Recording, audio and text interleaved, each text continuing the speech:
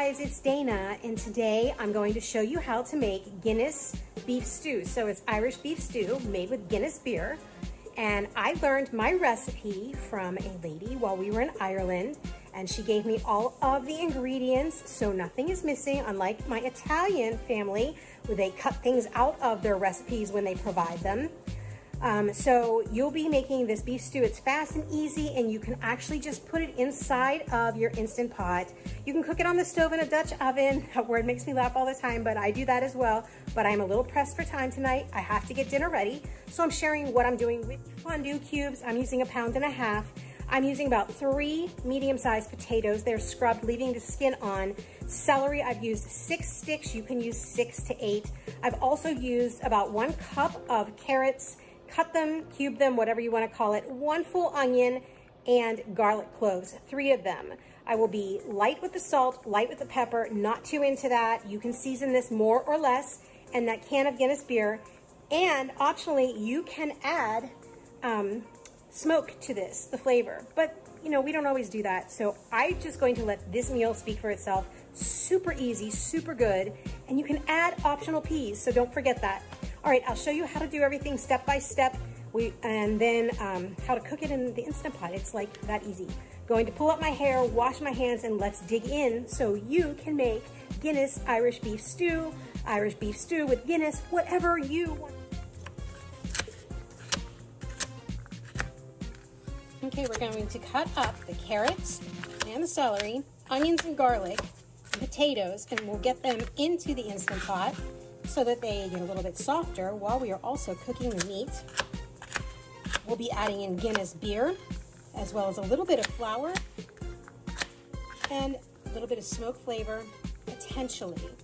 That is optional, and we change it up every time. It tasted like smoke flavor when we were over in Ireland, and the one little lady that shared her recipe with me said sometimes they do use a little bit of smoke flavor, but other times they don't. I really think it depends on what they have available. And, you know, you can make this stew your own. I'm going to advise adding a little bit of brown sugar. That'll take away the bitter of the Guinness, but the Guinness definitely amps the flavor. Um, you don't want to use too much liquid in here because you want that um, liquid to go into your bowl. And uh, that's about it. And I'd say this is about as small as I'm going with these veggies for now. Okay, and they're pretty even. I'm not too picky about that. We'll do some celery. I do like to cut my celery smaller. My mom had this friend when she was at a luncheon and usually I'll peel celery, but I'm just going to tell you the story. They were at a ladies' luncheon and the celery was not peeled and she ended up choking the host and they ended up running to the hospital because of a celery string. So either chop that celery really small or go ahead and peel the exterior of it to get that line of ribbing off of there because it is just terrible. Okay, here is my one fun ingredient that I was directed to use and I absolutely agree. I do not know what this apple does for it, but you want the apple in there the taste is phenomenal and it does not mess with the Guinness, don't worry. But it definitely makes this a fall dish. I mean, you could eat it any time of year. Apples are readily available, but I was told, did you hear me throwing the apple? um, I was told that you've got to add this in, and I'm telling you, this is the ingredient I had been missing. So I am happy to show you that. We add in apple. And again, I'm no pro at chopping, but I'll show you what I do. It's really simple. It's going to cook down anyway, so nobody's going to see this because you know apples get mushy when they're cooked. So I'm just trying to make sure that it's small enough that it will keep up with the other products, right? When they cook the other ingredients. And yes, there's some skin on the apple. It doesn't have to be perfect you know, I'm running a household and trying to just get stuff done so that there's a warm meal. My family isn't picky. If yours is, clean all of it.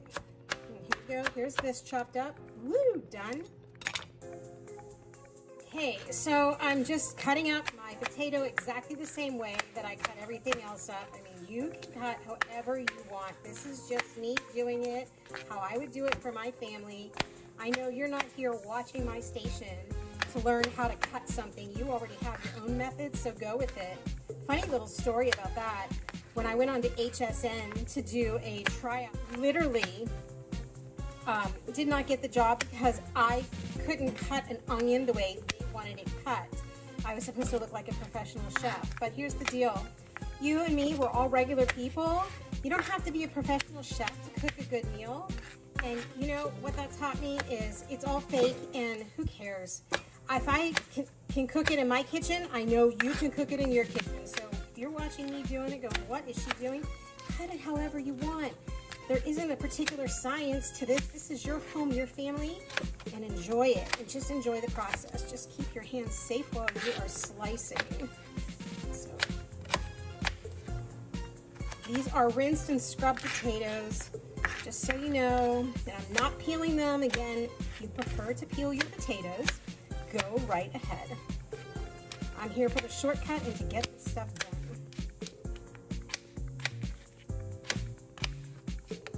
All right, there's my potato.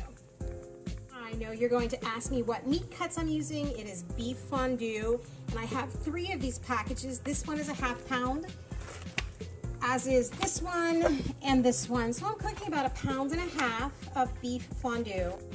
Okay, so now I'm going to chop the onion, you know, the kind that I don't know how to chop professionally, and that's all good with me. I'm making it smaller so the pieces cook.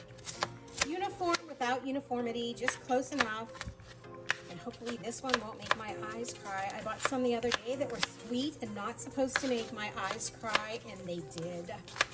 Anyway, this is enough onion right here. And if you want, just go back through. Okay, here's my garlic. I'm using three cloves. You can use more or less, though I do not want to overpower this. It is not an Italian dish. It just needs that woody essence of the garlic. So I'm going to cut it, put it in there, and that's it. All right, let's move over to the Instant Pot. You can see I added a little water to that. I'm pressing saute and we'll have that on. And we're going to add in the onion and the garlic as you saw me chopping it.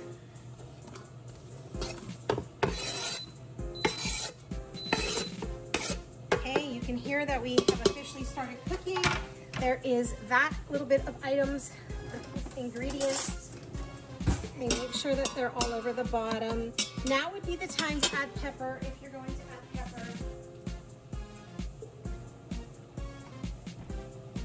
I'm adding it, I'm doing fresh, so I will just go ahead and I like to see how much I'm putting in.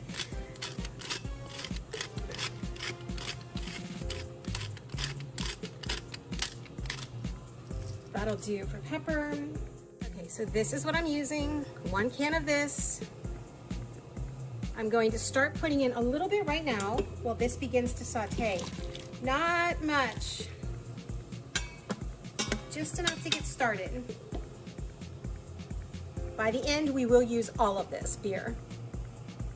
Okay, so I'm going to add in some of the beef. I do this at the beginning with the garlic and the onion because I need the beef to um, be cooked as well in the saute to kind of get it moving. If you remember, I said that in this recipe, you could add hickory smoke flavor, or here is the alternative. That's right, it's bacon. I take bacon bits, I microwave them, and then I put them in. The flavor is incredible, and a little bit of that bacon fat dripping is so good.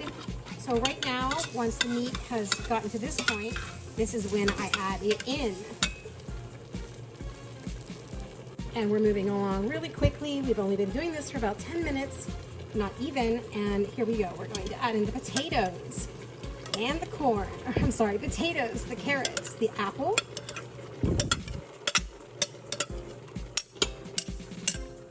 I'm gonna give this a really good mix.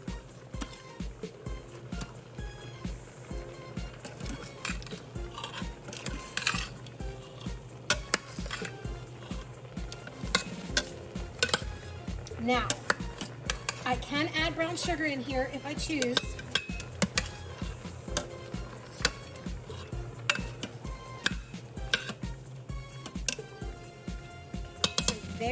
What it looks like. You can see that it has calmed itself down now.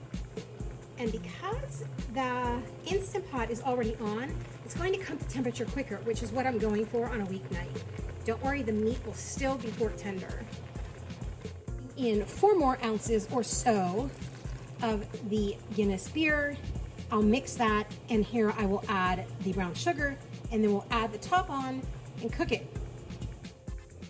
Okay, so I have an eighth of a cup. You can add more or less. I'm just going to dump that in there and then later when I add in my tomato paste with the rest of the Guinness and a little bit of flour in this slurry that I'm going to create, the bitter will be taken out because it's already cooked. The sweet is already cooked.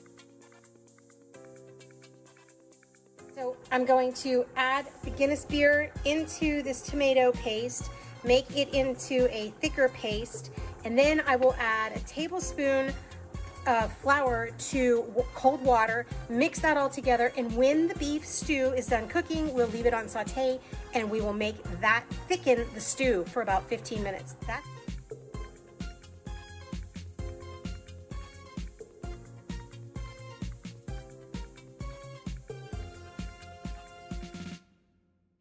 Well, I hope you really enjoyed watching this recipe for my Irish beef stew, Guinness beef stew, whatever you want to call it. Again, as a quick rundown, all of the recipe ingredients will be down in the comments section. Make sure to subscribe to my channel for some new and great recipes. Don't forget to check out my website, danavento.com. I've got a ton of recipes that are easy, just like this one, for any night of the week.